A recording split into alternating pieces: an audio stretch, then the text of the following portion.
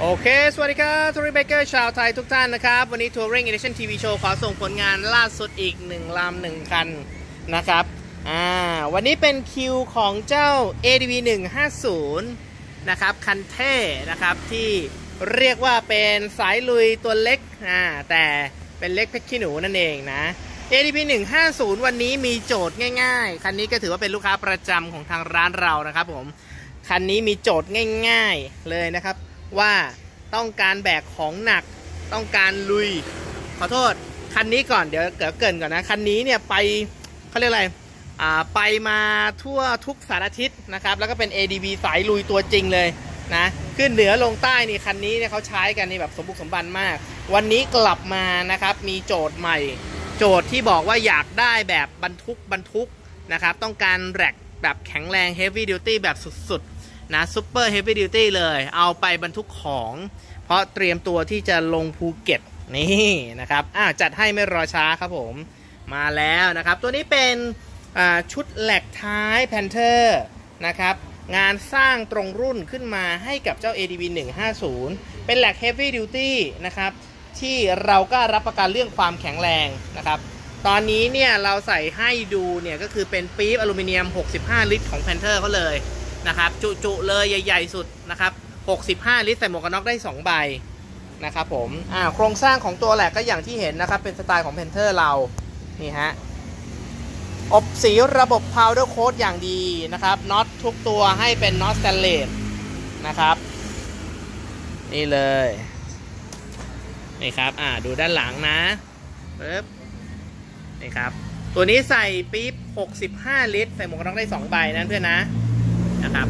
ตำแหน่งของเขาประมาณนี้เลย อ่าอ่าดูอีกด้านหนึ่งนะ จุดยึดแข็งแรงนะครับกล้ารับประกันเรื่องบรรน้ำหนักบรรทุกนะครับ 30-40 กิโลบรรทุกไปได้เลย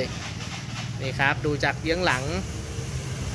อะเรามาดูกันนิดนึงครับว่าเมื่อตัวถอดถอดตัวปี๊บออกนะครับ ตัว rack เปล่าๆจะเป็นลักษณะไหนอย่างไรอะมาดูนิดนึงครับปึ๊บ นะครับตัวปี๊บนะครับ65 ลิตรก็จะใส่หมวกกันน็อกได้2ใบ ภายในก็จะประมาณนี้นี่ครับ มี inner ที่ฝามาให้แบบนี้ครับ แล้วก็สายรัดกันกระแทก ตัวนี้ก็ถือเป็นเป็นเขาเรียกอะไรอ่าเป็นชุดมาตรฐานไปแล้วเรียบร้อยนี่ฮะนะครับตัวอินเนอร์ตัวนี้เนี่ยสามารถที่จะถอดไปซักและทำความสะอาดได้นะเพื่อนะ ผลิตจากตัววัสดุคุณภาพดีเนาะอ่าตัว แหลกเปล่าๆเมื่อเราถอดออกนะครับ ก็จะประมาณนี้นะครับชุดนี้นะครับเป็นชุดถาดเป็นชุดแหลกถาดเป็นถาดเดิมของลูกค้ามีตัวปิ๊บเก่ามาอยู่แล้วนะครับผมนี่ฮะเราสามารถที่จะมาติดตั้งบนเพลทของตัวแพนเทอร์เขาอ่าอีกโจทย์หนึ่งที่ลูกค้าให้มาก็คือว่าต้องการเพิ่มความยาวนะครับ เพิ่มความยาวออกมา จากเดิมดีไซน์ของเราเนี่ยตัวตัวถาดล็อกก็จะอยู่ประมาณนี้นะครับในเวอร์ชั่นปกติ แต่สำหรับคันนี้เขาขอเป็น heavy duty แล้วก็เพิ่มความยาวไปข้างหลังนะครับเหตุผลเพราะว่าต้องบรรทุกหนักแล้วก็ต้องอซ้อนสามในบางช่วงบางจังหวะนะครับเพราะฉะนั้นต้องการพื้นที่สำหรับคนซ้อนมาก ๆ ประมาณนี้เลย จัดให้เลยตามคำร้องเลยแบบนี้ครับนี่ฮะ สวยๆ จุดสำคัญอีกอย่างหนึ่งของ Lab Panther ก็คือยังคงสามารถที่จะติดตั้ง แล้วก็ใส่ตัวมือจับกันตกได้ปกติเหมือนเดิมเลยนะครับ ตัวมือจับอของเดิม Honda ใส่ได้ปกติไม่ต้องถอดออก ชุดยึดนะครับ ชุดยึดบริเวณนี้นะครับ ยังสามารถที่จะติดตั้งแหลกข้างในอนาคตได้อีกนี่ฮะทำแหลกข้างตรงรุ่นให้ได้สำหรับเจ้า Panther ตรงนี้ เวลาใส่ปี๊บ ก็ไม่ได้ยากอะไรเลย ใส่ปั๊บสลักล็อกสี่ตัวให้ตรงกันนะครับ แล้วก็ตบรถไปข้างหน้าปึ๊บ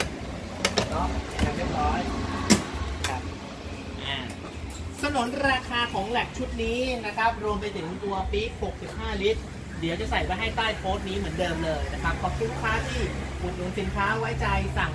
บริการใช้บริการของเรานะครับ แล้วก็ขอบคุณเพื่อนที่ติดตามชม เดี๋ยวมีสินค้าอะไรดีๆ มาอัปเดตกันอีกทีหนึงนะครับผมวันนี้ไปก่อนครับ สวัสดีครับ